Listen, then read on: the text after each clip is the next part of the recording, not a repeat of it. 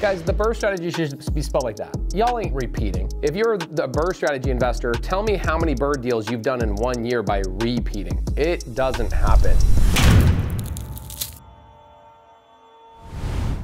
Yo, why don't I like the BRRRR strategy? Well, the reality is I have used the BRRRR strategy probably more times than most people that claim to be the BRRRR like masters have ever used the BRRRR strategy. I don't like it. And I'm gonna tell you why I don't like it, why I like other things better. We're gonna go through a whole entire list today. Well, first and foremost, let's start here. Okay, most people spell BRRRR incorrectly. What is the BRRRR strategy? Well, BRRRR stands for buy. Okay, so I'm gonna buy a property. R stands for renovate. Okay, I'm gonna buy the property, I'm gonna renovate it, I'm then going to rent it, and then I'm going to refinance, okay?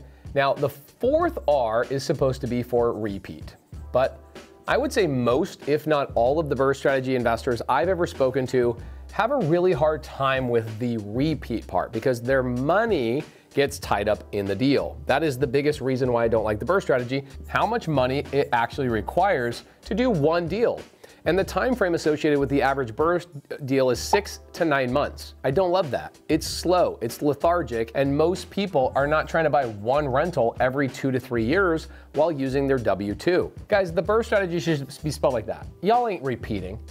Y'all ain't repeating. If you're the BRRRR strategy investor, tell me how many BRRRR deals you've done in one year by repeating. It doesn't happen. It's very, very rare. So let's talk about the other reasons why I don't love the BRRRR strategy. Number one, it's not timeless. It dies. So in 2022 through 2020, I'd say 2025, the BRRRR strategy is all but dead. Most real estate investors that are using the BRRRR strategy died. Why? Because they rely on banks. They rely on banks. I have not used a bank in the last 2,000 doors we've put in our portfolio. Yes, we are the creative finance people. Our Subto community dominates. We do more creative finance deals than anybody else in the nation.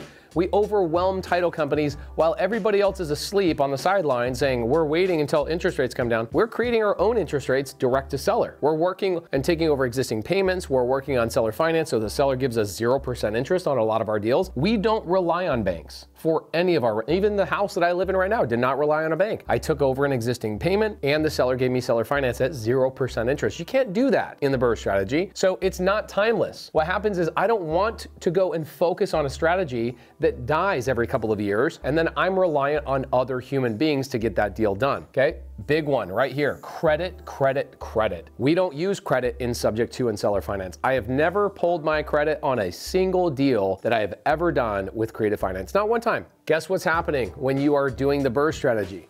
In the BRRRR strategy, you are pulling your credit right here to buy the property, you are pulling your credit again on refinance. You're getting two different loans on the BRRRR strategy. You buy it and then you refinance it. What happens when you buy it today and interest rates are 6.5 and you're assuming by the time you refinance six months later that your interest rate's still gonna be 6.5, but interest rates have gone up to 7.25 and it kills the cash flow. Holy moly. That is truly why the BRRRR strategy is super ineffective and super inefficient. Does it work? Yes. Have we done probably, I would say by the amount of BRRRRs that we've done, I'd say we've done probably about 50. I don't love them. I've done more than most people that are BRRRR strategy people and written books on BRRRR strategy have done BRRRR, okay? I don't love them because of these two things alone. I could just end the video right now, but I got a lot more to share with you. Guess what we don't use in, in creative finance? Credit. This one's a big one for me. I did a recording where a lender says to me, okay, this is such a lie. They'll go, okay, Pace, we're gonna give you 70% LTV. Oh no, I'm sorry, it was 80%. It says, we're gonna give you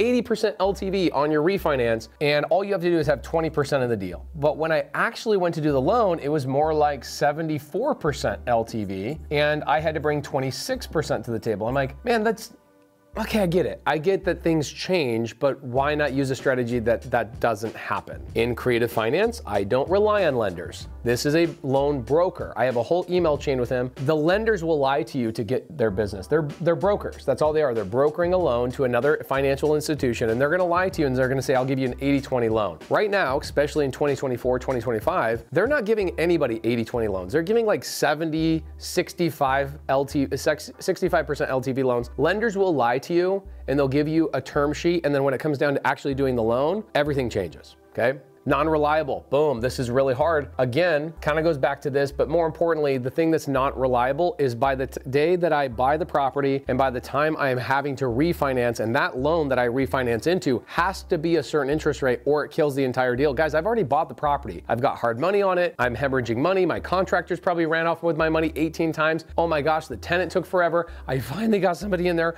and I'm finally gonna get somebody to um, live in the property and pay the rent so I can refinance the property and interest rates change and it kills the entire deal that I already own and I'm stuck in and I can't do anything with okay? Non-reliable. That doesn't happen in creative finance, neither one of these. If I take over somebody's 2% loan, 3% loan, 4% loan, or a seller finance deal at 0%, that's my interest rate forever. I don't have to fight with anybody. It's that. It never changes okay? Down payment. This one's big, goes right back into this right here. People will change the down payment on you. The worst part about the BRRRR strategy with the down payment is it needs to be sourced from you or from um, somebody close to you. Guess what I can't do in the BRRRR strategy? If I'm gonna go do a refinance and I'm getting a, a, a, loan, I can't go borrow money from somebody in second lien position. I can't do that in a BRRRR strategy loan. In creative finance, I can. Nobody cares. The seller and the sub two deal do not care where the money comes from. So down payment is a, mass, a massive issue in the BRRRR strategy of how it gets sourced and making sure that it actually is in your bank account, it's been seasoned, does not happen in creative finance. Here's another one, W-2 guess what I have to have when I'm doing the BRRRR strategy? They want to see your W-2. They want to see your job history. Guys, I'm unemployable. People would not hire me. I suck. There's a lot of entrepreneurs out there like, dude, I wish I could do the BRRRR strategy, but every time I go get a loan and do a refinance, they want to see my W-2 and they want to see my job history. Guys, I'm unemployed. I have no job. I don't need a W-2 to do a sub-2 deal. In fact,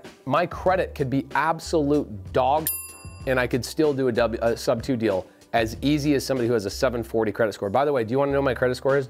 Ryan Cox, my from my family office, he says, "Hey, what do you think is your credit score?" I go, "I don't know, six 650." He pulled it and came back and he says, "Your credit score is a 758." Boom. Guess what? I'll never use it. I'm sorry, I will use it. When I go do refinances on my properties years down the road and I suck out the equity, of course I do it. But I wait. I have this amazing ability to hold on to a sub 2 or a seller finance loan as long as I possibly can, and then I refinance when it's appropriate. In the BRRRR strategy, I'm forced to refinance because I have a hard money loan when I bought the property. Really? Uh Ugh, it's horrible. Tax returns. Well, that's not fun. It's not a fun situation to be in is to have to show your tax returns. I don't show tax returns to any financial institution to buy the properties that I currently own. For business owners like me, tax returns are incredibly complicated. We have multiple people that work on them all year round. We always extend from April until the end of the year. Every single year we extend. Every business owner always extends your, their taxes because they're always late, always, always late. Guess what? Do you know how much money I made on my tax returns this year? In